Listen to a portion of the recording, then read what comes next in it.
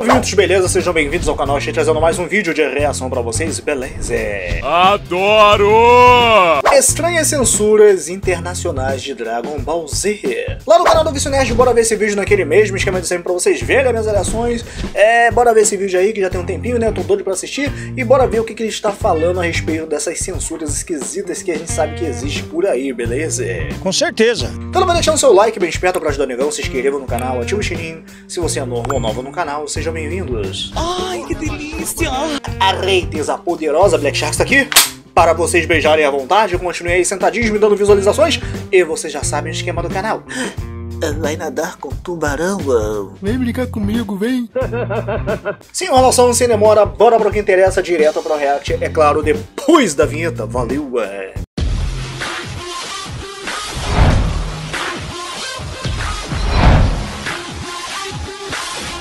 Alexandre na área.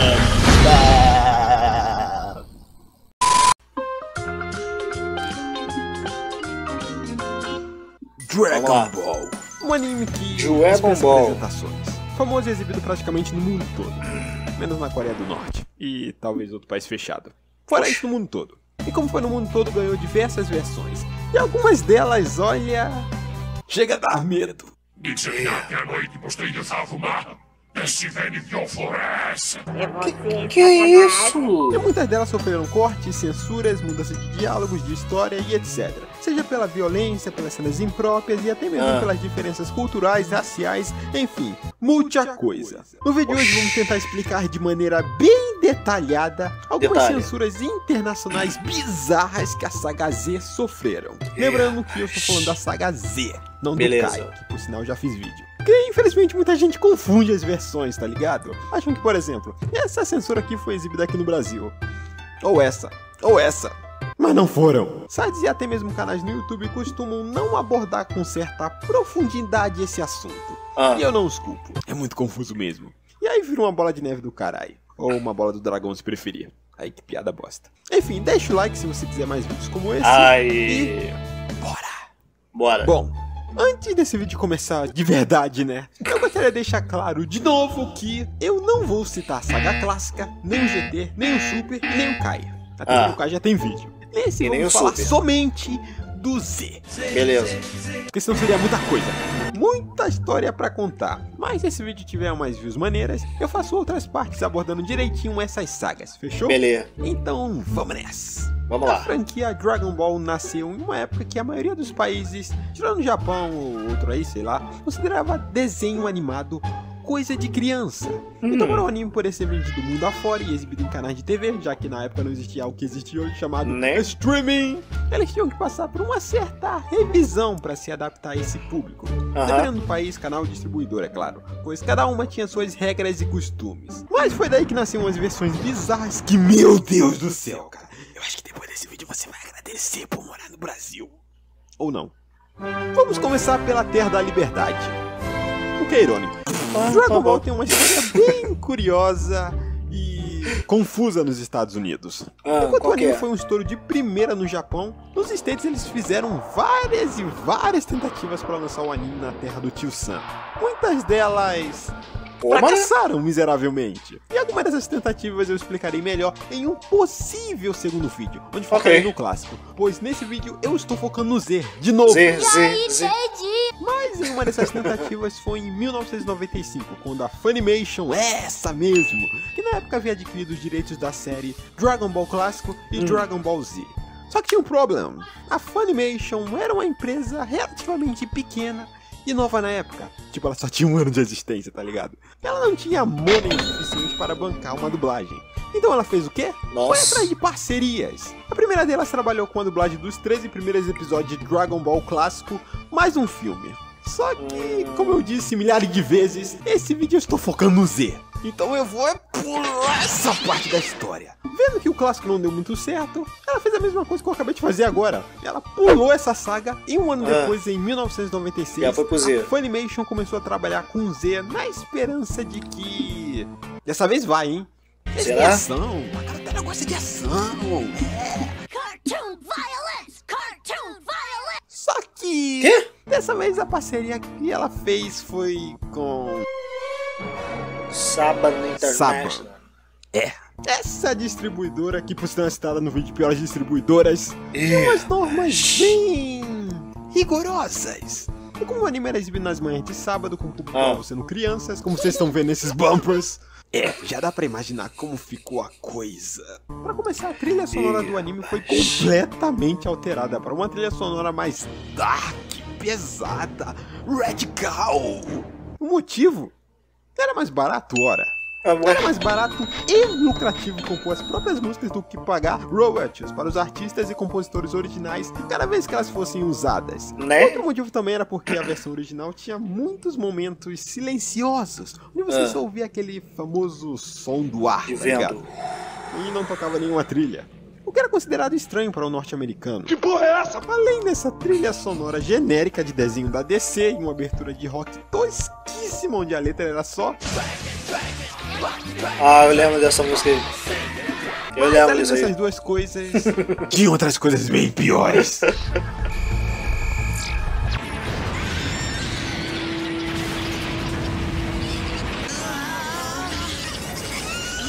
I can see their parachutes. They're okay. É o quê? Ele disse: Olha, eu posso ver seus paraquedas. Eles estão bem. É. Como a morte. Um dos temas mais abordados na franquia Dragon Ball não existe nessa versão. Ao invés disso, os Como? personagens vão pra outra dimensão. Na verdade, nos primeiros episódios, Tá, eles ainda deixavam poxa. passar de forma bem sutil. Como, Ah. por exemplo, na morte do Raditz. Hum. Mas a partir de um certo ponto do anime, eles começaram a usar o termo outra dimensão para se Outra dimensão. personagens. Goku's trapped in another dimension. Na cena em que o Yantia morre para os Cybermans, por exemplo, Ah. o corpo dele simplesmente desaparece, não é mostrado. Qualquer gotícula de sangue foi removido, ou às vezes eram substituídos por. seja lá o que foi isso. Na cena em que o Napa corta o braço do Suco de limão. nessa versão se chama Tien, ele afirma que pode Hã? fazer seu braço crescer de volta. Será que nessa versão ele também é um Namekuzen? Nudez ou partes íntimas sendo mostradas? Nem ferrando. Tabaco usou bebidas alcoólicas? Nananina não. Na versão original, Água como com espuma. no caminho da serpente, ele vai parar no inferno, certo? Certo. Com a camiseta que os ogros estão usando. É. Mas na versão da Seiban, a camiseta que eles estão usando está com a sigla HLFIL, que significa Home for Infinite Losers. Ou seja, Ah, Goku foi parar na casa dos perdedores infinitos.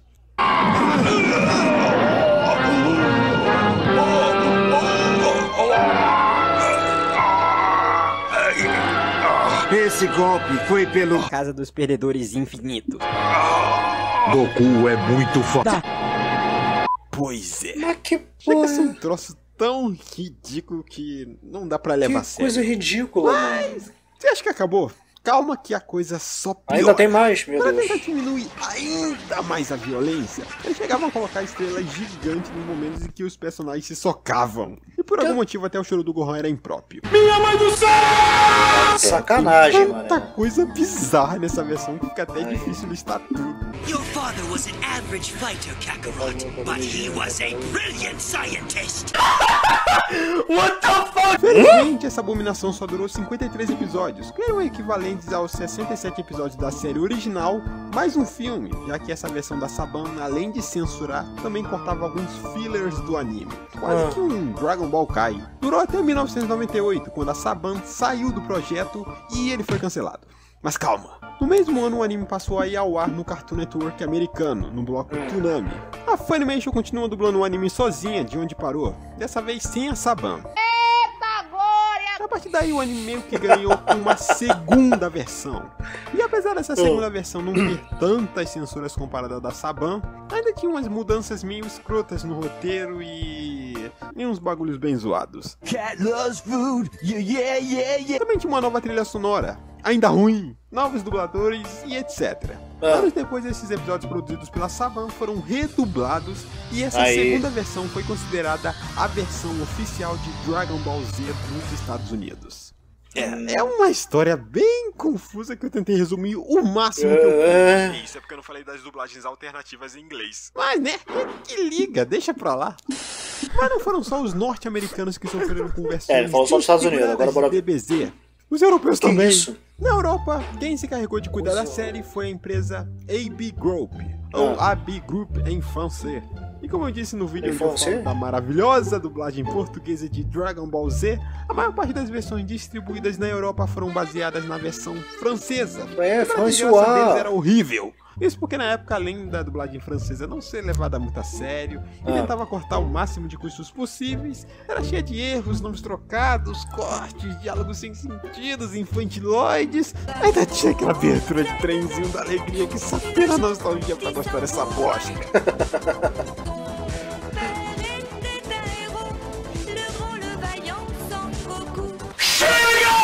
Assim como na dublagem portuguesa citada no meu outro vídeo, a versão francesa, Goku era sempre chamado de Sangoku, ou Son Goku.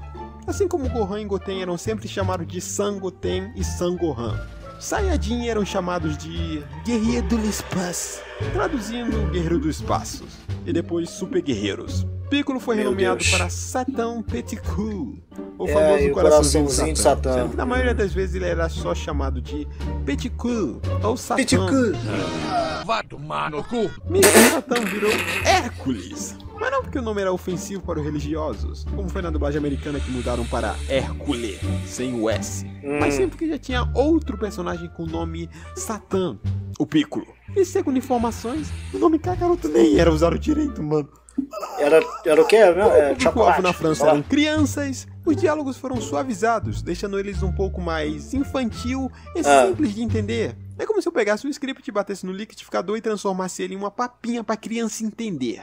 A tradução também não era boa, o que ocasionava uma série de erros e diálogos que não tinham nada a ver com o que era dito na versão distorção muito original. engraçada, Então, mano. por exemplo, na cena em que o Goku grita: Eu sou o Super Saiyajin Son Goku. Porém, na versão francesa ele grita: Par la puissance de Kaio, transformation Pelo poder do Kaiô? Como assim? Que transformação! Deve ser bêbado. Em outras cenas eles deixavam as falas um pouco mais emocionais.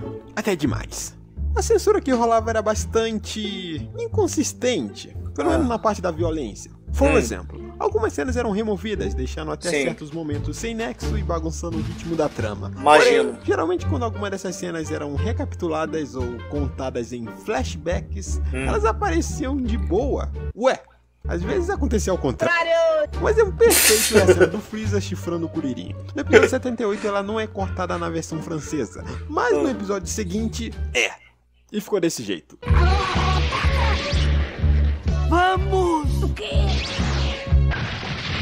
Entendi quando. A mesma coisa rola quando o Freeza é cortado Eu lembro dessa parte aí. No episódio 104 essa cena E é outro censurada na versão francesa. Mas no episódio 105, quando ela é recontada, não vai entender. No Ai. entanto, também tinham outras cenas que não eram cortadas.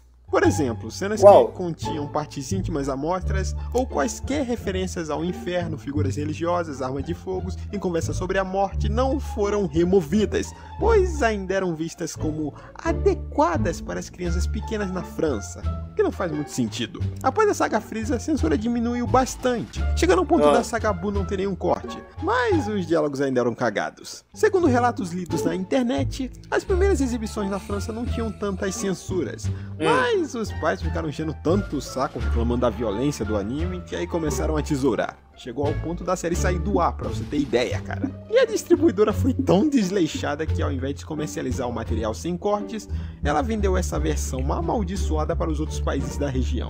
Para a dos europeus, como Alemanha, Áustria, Espanha, Reino Unido, Polônia e entre outros. E é claro, Portugal.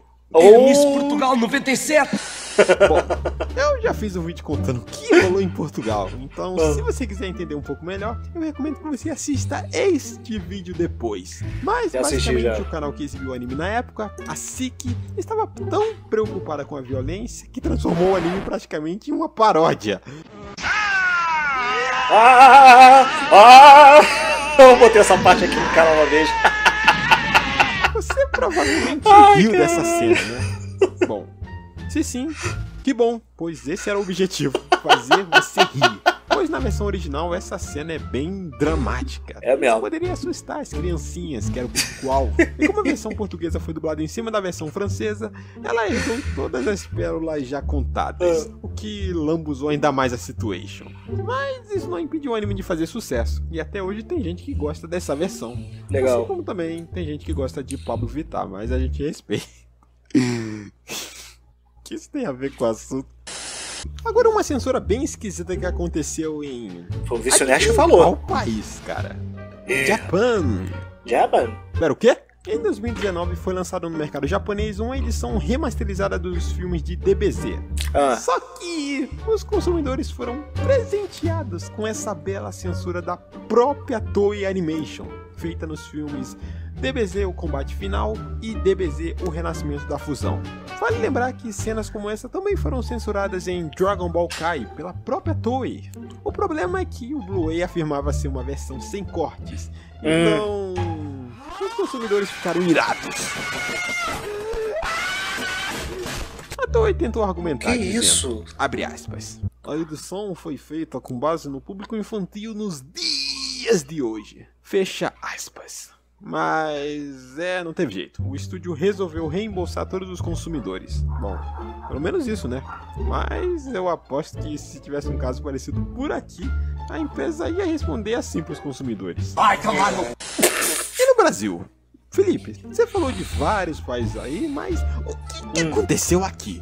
Bom, meu querido Que que gafanhoto, por incrível que pareça, Dragon Ball Z não teve tantos problemas com censura por aqui. O quê? Não acredito. O anime chegou Não. em 1999 aqui nas mãos da antiga Clover Ray, com dublagem baseada na espanhol latino-americana, feita no México. E comparada às outras versões vistas nesse vídeo, era até que bem fiel à versão japonesa. Ah, graças a Deus. No máximo, no máximo, tínhamos aquelas suavizadas na dublagem em cenas que tinham alguma sacanagem envolvida, como nessa Ah. cena, por exemplo. そんなに気を使わんでもよいのにわしゃこのおっぱいをちょっとだけ触らせてくれ Mas não precisava ter se preocupado com isso. Hum. Eu quero apenas te dar um abraço de boas-vindas. É, é, Na é. versão original, quando o Goku derrota Nappa, ele quebra a coluna dele, deixando aleijado. É. mas na dublagem isso não fica muito referência. explícito. Ah. Oh!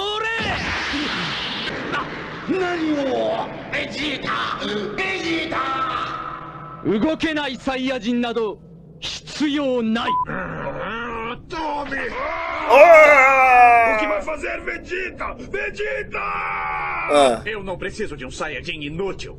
Como você, Nappa. Fica aí a questão se isso foi uma censura ou apenas uma adaptação no roteiro. Mas De repente foi uma adaptação, sei lá. diálogozinhos, não tinha tantas censuras. Sei lá. Ah, mas eu tenho certeza que você vai falar assim. Ah, mas tinha censura sim. Eu vi, eu vi no Inerd que tinha censura. Ah, roleta russa, sei lá o que. Ah. Calma. Você provavelmente deve estar se referindo aos cortes que as Ah. próprias emissoras de TV faziam. E como aqui o anime foi exibido em muitos canais, Foi, foi. de forma pirata, cada um tinha sua política do que podia ou não ir ao ar. Um exemplo perfect é o Cartoon Network, Cartoon que geralmente cortava cenas do Mestre Kami passando dos limites, cenas com nudez, personagens dando dedo do meio, e sim, aquela cena da roleta russa. Ao contrário da Band e da Rede Brasil, que costumava exibir de boa essas cenas, na íntegra. Já a Globo, é, como sempre, retalhou bastante o anime. Vamos na luta Né? Videl contra o Spopovich. Fora isso, não foi uma desgraceira completa como nos outros países. Então, podemos dizer que fomos até bem sortudos, cara. Menos no Kai. Esse tomamos É, no tirando o rabo. Kai, né? Esse daí eu não cheguei a ver, não, nem quero ver. né? Lembrando de novo que esse vídeo estamos focando no Z, não no Beleza. clássico, não no GT, nem no Kai, nem no Super. Show de Mas bola, se já entendemos outros isso. focados nessa saga, eu faço com todo prazer. Ele será postado nesse mesmo canal e nesse mesmo horário. Mentira, não tem horário. Eu já ia perguntar isso. Eu também. Bom, gente, esse daí foi o Vício Nerd trazendo para nós essas censuras absurdas e cabulosas de outros países. E realmente somos pessoas bem aventuradas, tirando os problemas que existem no Brasil, como ah, por exemplo, políticos safados. Não acho. Mas realmente essa questão de dublagem aqui, é, de censura na dublagem ou de imagem aqui, pelo menos de Dragon Ball, eu não percebi tanto na época, até porque quando eu assisti Dragon Ball, eu assisti, se eu não me engano, foi realmente na Band, se eu não estou enganado, eu já vi também na Cartoon Network, na Globo, eu não percebi tanta é, coisa de censura como nos outros países que são coisas escrachadas, tá ligado? Aquela parte do Vegeta, no caso, socando e jogando o Napa lá pra cima tal, na versão da gente dublada, que ele fala que não precisa de um Saiyajin inútil. Não sei, eu, pra, pra mim não me, não me pareceu, né? De repente, só respondendo aqui uma pergunta que fez, não me pareceu uma censura, pareceu mais uma adaptação, né? Eu teve uma vez que eu tava vendo um vídeo em relação a essa questão de dublagem, né? E os caras, no caso, que, que são. Eu não lembro agora quem tava falando, não sei se foi o Wendel, Bezerra ou se foi algum outro dublador experiente, Mauro Ramos, eu não lembro, falando que é, tem que às vezes adaptar ali pra nossa realidade também, claro, né?